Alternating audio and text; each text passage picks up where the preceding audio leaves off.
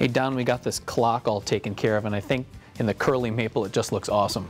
Yeah, that's a beautiful clock, and I've been trying this chip carving thing. You just need this little knife. Brian was showing me how to do this on this, uh, what's going to be an end panel for the end of this book rack that we're working on. Yeah, it looks really nice. I was surprised on how easy it seemed to do. It's kind of easy. It takes a little practice. Yeah. You know, and I'm working on that.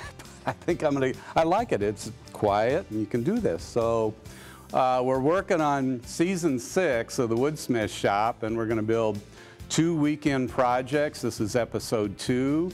Uh, if you want to see this episode, somewhere on this page there's a button and how to contact your local public TV station. Just give them a call or email them or something and say, you want to see season six of the Woodsmith Shop.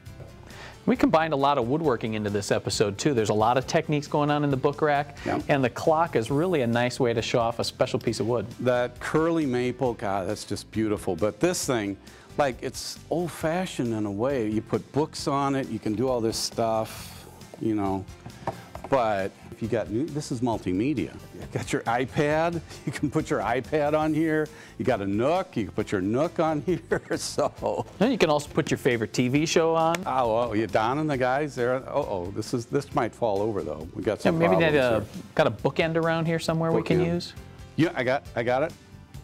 Right here, my favorite bookend, two-pound bag of M&Ms. So that's going to be great. Of course. okay. Well, uh, we're gonna, we're looking forward to seeing you in the fall of 2012, and we'll build these two projects, and we'll do a little bit more than eat M&Ms. We, there's a lot of woodworking here. So we'll see you then. Thanks.